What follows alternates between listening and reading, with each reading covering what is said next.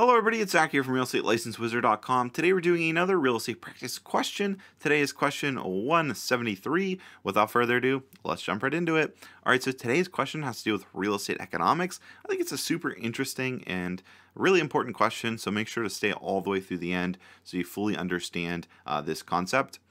But yeah, let's take a look at the question. So the question states, while the economy is experiencing inflation, interest rates typically, so it's asking us what happens, obviously, when we're experiencing inflation uh, for interest rates.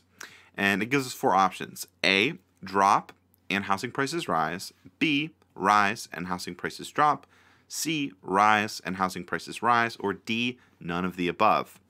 So, like always, I'm going to give you guys an opportunity to pause here, read it over again, think about it, and come with your answer. So, go ahead and do that right now.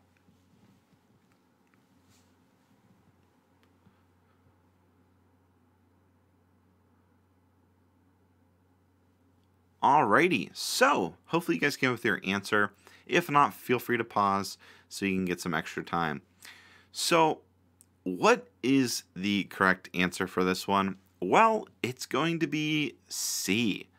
Rise and housing prices rise. So, housing prices tend to rise with inflation.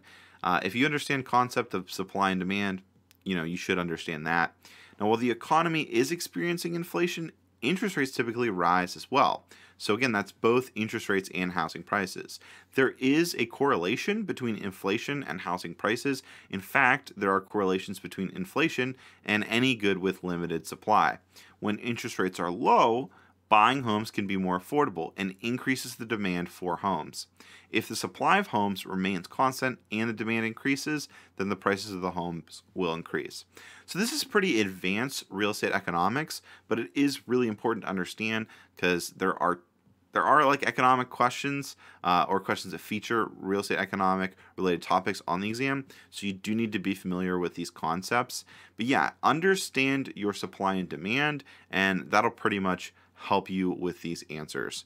Um, and actually, we do have a video. I, I, I, mentioned it yesterday on our last one, our last question of the day, but we do have a video on real estate economics. So do check that out as well if this is something that you completely don't understand, because uh, we cover it pretty in depth on that video.